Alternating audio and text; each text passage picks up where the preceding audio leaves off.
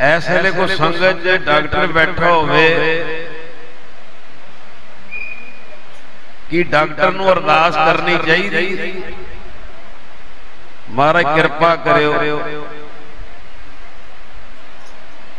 ਵੱਧ ਤੋਂ ਵੱਧ ਮਰੀਜ਼ ਭੇਜਿਓ ਆਖੋ ਸਤਨਾਮ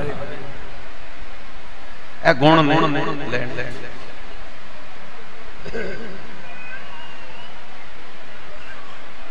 ਸਾਨੂੰ ਵੀ ਇਹਨਾਂ ਚੀਜ਼ਾਂ ਦਾ ਨਹੀਂ ਸੀ ਅੰਮ੍ਰਿਤਸਰ 'ਚ ਇੱਕ ਬੀਬੀ ਸੀ ਬੀਬੀ 40 45 ਦੇ ਉੱਤੇ ਸਾਲਾਂ ਉਹਨੇ ਨਾ ਦੰਦਾਂ ਦੀ ਕਲੀਨਿਕ ਖੋਲੀ। ਤੇ ਇਤਨਾ ਹੀ ਭੋਗ ਪਿਆ ਤੇ ਮੈਨੂੰ ਕਹਿੰਦੀ ਵੀਰ ਜੀ ਦੰਦਾਂ ਦੀ ਕਲੀਨਿਕ ਦਾ ਮਹੂਰਤ ਕਰਨਾ ਤੇ ਕੀਰਤਨ ਦੀ ਵਾਰੀ ਦਿਓ। ਅਰਦਾਸ ਤੁਹਾਡੇ ਕੋਲ ਕਰਾਉਂ ਆਖੋ ਸਤਿ ਮੈਂ ਉਹ ਬੀਬੀ ਨੂੰ ਕਿਹਾ, ਮੈਂ ਕਿਹਾ, ਭੈਣ ਜੀ, ਘਰੇਲੂ ਪ੍ਰੋਗਰਾਮ ਨਹੀਂ ਭੁਗਤਦੇ ਸੰਸਥਾਵਾਂ ਦੇ ਹੀ ਭੁਗਤਦੇ ਆ। ਦਿਨ ਤੇ 365 ਹੀ ਹੈ ਤੇ ਜਥਾ ਭੇਜ ਦਿੰਦੇ ਆ। ਥੋੜਾ ਰੁਝੇਵੇਂ ਕਰਕੇ ਸਾਡਾ ਨਹੀਂ। ਉਹ ਕਹਿੰਦੀ, ਨਹੀਂ, ਵਾਰੀ ਤੁਹਾਡੀ ਲੈਣੀ। ਚਲੋ, ਹਫਤਾ ਲੰਘ ਗਿਆ, ਦੋ ਹਫ਼ਤੇ ਲੰਘ ਗਏ, ਮਹੀਨਾ, ਉਹ ਮਹੀਨੇ 'ਚ 8 ਸਾਰੀ ਮੈਂ ਕਿਹਾ ਬੀਬੀ ਖੜੇ ਪੈ ਗਈ। ਮੈਨੂੰ ਫਿਰ ਕਹਿਣਾ ਪਿਆ। ਮੈਂ ਕਿਹਾ ਭੈਣ ਜੀ ਸਾਡੀ ਭੇਟ ਹੈ। ਤੁਸੀਂ ਬਾਰ-ਬਾਰ ਕਹਿ ਰਹੇ ਹੋ ਕੀਰਤਨ ਕਰੋ। ਮੈਂ ਕਿਹਾ ਸਾਡੀ ਭੇਟ ਹੈ। ਕਹਿੰਦੀ ਕੀ? ਮੈਂ ਕਿਹਾ ਵੇਖ ਲਓ ਸਾਡੀ ਭੇਟ ਹੈ। ਮੈਨੂੰ ਕਹਿੰਦੀ ਜਿੰਨਾ ਲਫਾਫਾ ਕਹੋਗੇ ਰੱਖ ਦਿਆਂ ਮੈਂ ਕਿਹਾ ਜੀ ਆ ਲਫਾਫਾ ਤੇ ਜਾਣਾ ਮੰਦਵਾਰ ਬਈ ਸਾਡੀ ਭੇਟ ਹੈ। 51 ਪਾਠ ਸੁਮਨੀ ਸਾਹਿਬ ਹਾਜ਼ਰੀ ਲਾਓ। ਫੇਰ ਵਾਰੀ ਦਾ ਸੈਟਿੰਗ ਕਰਾਂ। ਮੈਂ ਸੋਚਿਆ ਭੱਜੇਗੀ ਕਿਹੜਾ ਪਾਠ ਕਰੇ 51 ਇਹ ਹੋਰ ਕੋ ਕਰਾ ਲੈਂਦੇ। ਉਹ ਬੀਬੀ ਜੀ ਸਾਰੇ ਪਰਿਵਾਰ ਸਮੇਤ ਹਫ਼ਤੇ ਵਿੱਚ 51 ਪਾਠ ਕਰਕੇ ਸੁਮਨੀ ਸਾਹਿਬ ਆ ਗਈ। ਕਹਿੰਦੀ ਜੀ ਇੰਨੀ ਤਰੀਕ ਨੂੰ ਇਹਨੇ ਕੀਤੇ ਇੰਨੀ ਨੂੰ ਇਹਨੇ ਹੁਣ ਦਿਓ ਉਹ ਰੁੱਕਾ ਮੇਰੇ ਹੱਥ 'ਚ ਮੈਂ ਗਿਆ। ਗੁਰਗੋਬਾਲ ਸਿੰਘ ਹੁਣ ਤੇ ਫਸ ਗਏ ਭਾਈ। ਹੁਣ ਵਾਰੀ ਮੇਰੀ ਰਹਿਣੀ ਵੀ ਹੁਣ। ਉਹਨੇ ਆਪਣਾ ਵਜਨ ਪੂਰਾ ਕਰਦਾ ਸੰਗਤ ਜੀ ਤਰੀਕ ਸੈੱਟ ਕਰ ਲਈ। ਚਲੋ ਆ ਤਰੀਕ ਨੂੰ ਕੀਰਤਨ ਸੁਣਿਓ ਮੈਨੂੰ ਵੀ ਨਹੀਂ ਨੌਲੇਜ ਅਸੀਂ ਸਵਾ ਘੰਟਾ ਕੀਰਤਨ ਕੀਤਾ ਸ਼ਬਦ ਪੜੇ ਸਤਿਗੁਰ ਤੋਂ ਬਰੇ ਕਾਜ ਸਵਾਰੇ।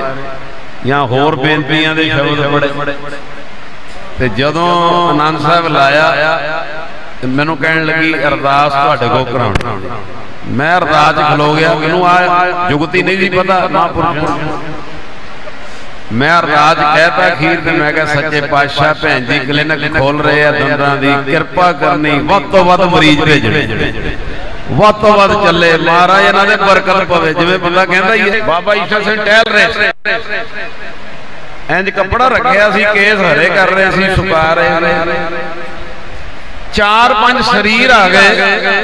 ਨਾਨਕ ਸਰ, ਉਹਨਾਂ ਨੂੰ ਮਿਲਣ। ਕੋਲੋਂ ਲੰਘ ਰਹੇ ਆ, ਦਰਸ਼ਨ ਕਰ ਜੀ ਉਹਨਾਂ ਨੇ ਪ੍ਰਸ਼ਾਦ ਰੱਖਿਆ ਫਤਿਹ ਬੁਲਾਈ ਨਮਸਕਾਰ ਕੀਤੀ ਬਾਬਾ ਜੀ ਟਹਿਲ ਰਹੇ ਬਾਬਾ ਈਸ਼ਾ ਤੇ ਟਹਿਲਦੇ ਆ ਟਹਿਲਦੇ ਆ ਨਾ ਬਾਬਾ ਈਸ਼ਾ ਸਿੰਘ ਕਹਿੰਦੇ ਕਿੱਥੋਂ ਆਏ ਭਾਈ ਉਹਨਾਂ ਦੱਸਿਆ ਜਿੱਥੋਂ ਆਏ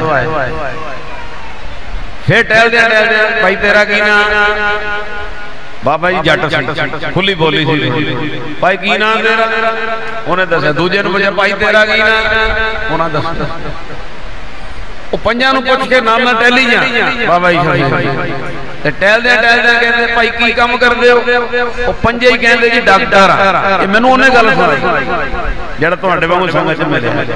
ਉਹ ਪੰਜੇ ਹੀ ਕਹਿੰਦੇ ਜੀ, ਡਾਕਟਰ ਹੁਣ ਮਾਂ ਪੁਰਸ਼ ਦਾ ਹਿਰਦਾ ਨਰਮ ਹੁੰਦਾ। ਕੋਈ ਆਇਆ ਤੇ ਕੁਝ ਲੈ ਕੇ ਜਾਵੇ। ਲੰਗਰ ਤੱਕ ਨਾ ਰਹੇ, ਪ੍ਰਸ਼ਾਦ ਤੱਕ ਨਾ ਰਹੇ। ਕੁਝ ਲੈ ਕੇ ਜਾਵੇ।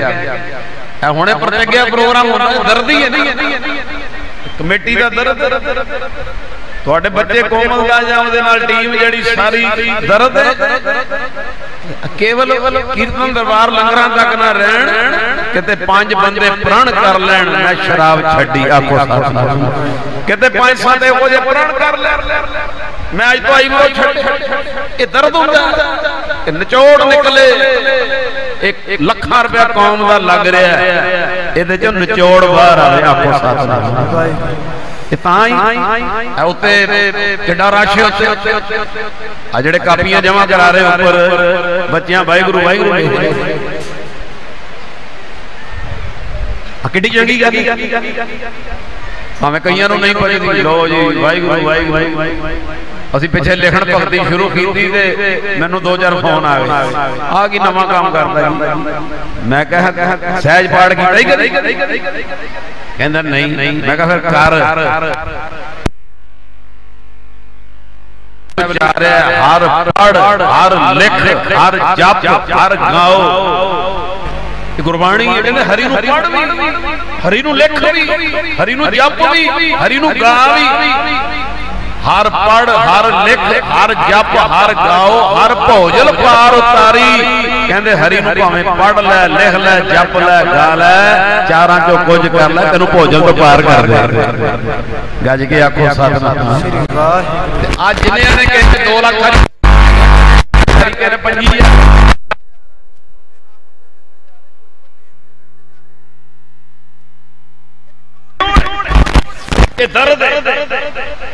ਕਹਿੰਦੇ 2 ਲੱਖ ਹਰੀ ਕਹਿੰਦੇ ਪੰਜੀ ਇਹ ਦਰਦ ਹੈ ਕਿ ਇਹ ਲੰਗਰਾਂ ਤੱਕ ਨਾ ਗੱਲ ਰਵੇ ਕੁਝ ਕੁਝ ਨਿਚੋੜ ਬਾਰ ਆਵੇ ਕਰਨੀ ਬਾਰ ਆਵੇ ਗੱਜ ਕੇ ਆਖੋ ਸਤਿ ਉਹ ਮਹਾਂਪੁਰਸ਼ਾਂ ਨੂੰ ਦਰਸ ਆ ਗਿਆ ਟਹਿਲਦੇ ਟਹਿਲਦੇ ਕਹਿੰਦੇ ਭਾਈ ਕੀ ਕੰਮ ਕਰਦੇ ਕਹਿੰਦੇ ਡਾਕਟਰ ਬਾਬਾ ਜੀ ਤਰਸ ਆ ਗਿਆ ਕਹਿੰਦੇ ਵੀ ਮਾੜਾ ਜਿਹਾ ਪੁੱਛ ਲਈਏ ਤੇ ਟਹਿਲਦੇ ਟਹਿਲਦੇ ਬਾਬਾ ਈਸ਼ਰ ਸਿੰਘ ਕਲੇਰਾਂ ਵਾਲੇ ਮਹਾਂਪੁਰਸ਼ ਪੁੱਛਦੇ ਆ ਕਹਿੰਦੇ ਡਾਕਟਰੋ ਇੱਕ ਗੱਲ ਦੱਸੋ ਉਹ ਕਹਿੰਦੇ ਜੀ ਹੁਕਮ ਕਹਿੰਦੇ ਸਾਰੀ ਦੁਨੀਆ ਅਰਦਾਸ ਕਰਦੀ ਏ ਸਾਡਾ ਕੰਮ ਚੱਲੇ ਕਾਰੋਬਾਰ ਵਧੇ। ਉਹ ਡਾਕਟਰੋ ਤੁਸੀਂ ਵੀ ਅਰਦਾਸ ਕਰਦੇ ਹੋ? ਉਹ ਪੰਜੇ ਡਾਕਟਰ ਜੀ ਚੁੱਪ ਦੇ ਚੁੱਪ। ਪੰਜੇ ਡਾਕਟਰ ਕਹਿੰਦੇ। ਕਹਿੰਦੇ ਜੀ ਅਰਦਾਸ ਤੇ ਕਰਦੇ ਆ ਰੋਜ਼ ਨਿਤਨੇਮ ਤੋਂ ਬਾਅਦ ਮਾਰਾ ਕਲੀਨਿਕ ਤੇ ਚੱਲੇ ਆ ਤੇ ਵੱਧ ਤੋਂ ਵੱਧ ਮਰੀਜ਼ ਭੇਜਣਾ। ਆਖੋ ਸਤ ਵੱਧ ਤੋਂ ਵੱਧ ਕਲੀਨਿਕ ਤੇ ਮਰੀਜ਼ ਭੇਜਣਾ। ਉਹ ਟਹਿਲਦੇ ਟਹਿਲਦੇ ਬਾਬਾ ਈਸ਼ਰ ਸਿੰਘ ਜੀ ਕਹਿੰਦੇ ਭਾਈ ਫਿਰ ਫਿਰ ਤੁਸੀਂ ਦੁਨੀਆ ਦਾ ਮਾੜਾ ਮੰਗਦੇ ਹੋ। ਫਿਰ ਤੇ ਦੁਨੀਆ ਦਾ ਬੁਰਾ ਮੰਗਦੇ ਹੋ ਇੱਕ ਡਾਕਟਰ ਕਵੇ ਕਿ ਮੇਰਾ ਕੰਮ ਵੱਧ ਤੋਂ ਵੱਧ ਚੱਲੇ ਇਹਦਾ ਮਤਲਬ ਦੁਨੀਆ ਵੱਧ ਤੋਂ ਵੱਧ ਬਿਮਾਰ ਹੋਵੇ ਤਾਂ ਹੀ ਚੱਲੂ। ਹੁਣ ਜੁਗਤੀ ਸੁਣਿਓ। ਬਹੁਤ ਲੋੜ ਜੇ ਮਹਾਂਪੁਰਸ਼ਾਂ ਦੀ ਸੰਗਤ ਕਰਨ ਉਹਨਾਂ ਦਾ ਜੀਵਨ ਪੜਨ ਜਦੋਂ ਬਾਬਾ ਈਸ਼ਵਰ ਸਿੰਘ ਨੇ ਕਿਹਾ ਵੀ ਇਹ ਤੇ ਪੁਨਾ ਪੁਨਾ ਦਿਓ ਇੱਕ ਡਾਕਟਰ ਥੋੜਾ ਤੇਜ਼ ਸੀ। ਉਹ ਜ਼ਿਆਦਾ ਪੜਿਆ ਲਿਖਿਆ ਚੁਸਤ ਉਹ ਬੋਲ ਪਿਆ। ਕਹਿੰਦਾ, ਬਾਬਾ ਜੀ, ਫਿਰ ਕੀ ਅਰਦਾਸ ਕਰਿਆ ਕਰੀਏ? ਕਲੀਨਿਕ ਤੇ ਚੱਲੇ ਆ। ਬਾ, ਪੱਖੀ ਝੱਲ ਗਿਆ ਜੀ। ਬਾ ਕੁਰਸੀ ਦੇ ਵਿਹਲੇ ਬਹਿ ਗਿਆ ਜੀ। ਫਿਰ ਆ ਕਰਿਆ ਕਰੀਏ। ਸੁਣਿਓ ਜੋ ਮਹਾਂਪੁਰਸ਼ਾਂ ਘੁੰਡੀ ਕੱਢੀ। ਬਾਬਾ ਈਸ਼ਰ ਜੀ ਕਹਿੰਦੇ ਨਾ ਭਾਈ ਨਾ। ਆ ਵੀ ਨਹੀਂ ਕਹਿਣਾ। ਆ ਵੀ ਨਹੀਂ ਕਹਿਣਾ ਮਾਰੇ ਕਲੀਨਿਕ ਤੇ ਚੱਲੇ ਆ ਵੇਲੇ ਬਹਿ ਕੇ ਆ ਜੀ ਪੱਖੀ ਚੱਲ ਕੇ ਆ ਜੀ ਆ ਵੀ ਨਹੀਂ ਕਹਿਣਾ ਇਹ ਕਲੀਨਿਕ ਤੇ ਚੱਲੇ ਆ ਤੇ ਵੱਧ ਤੋਂ ਵੱਧ ਮਰੀਜ਼ ਭੇਜਿਓ। ਦੋਵੇਂ ਗੱਲਾਂ ਨਹੀਂ ਕਹਿਣੀਆਂ। ਜਿਹੜੀ ਉਹਨਾਂ ਭੁੰਡੀ ਕੱਢੀ ਮੈਂ ਹੈਰਾਨ ਰਹਿ ਗਿਆ। ਬਾਬਾ ਈਸ਼ਰ ਸਿੰਘ ਜੀ ਕਹਿੰਦੇ ਭਾਈ ਨਿਤਨੇਮ ਕਰਕੇ, ਸਿਮਰਨ ਕਰਕੇ, ਭਜਨ ਬੰਦਗੀ ਕਰਕੇ ਅਰਦਾਸ ਕਰਨੀ ਏ। ਗੁਰੂ ਨਾਨਕ ਸਾਹਿਬ, ਕਲਿਨਕ ਤੇ ਚੱਲੇ ਆ। ਕਲਿਨਕ ਤੇ ਚੱਲੇ ਆ।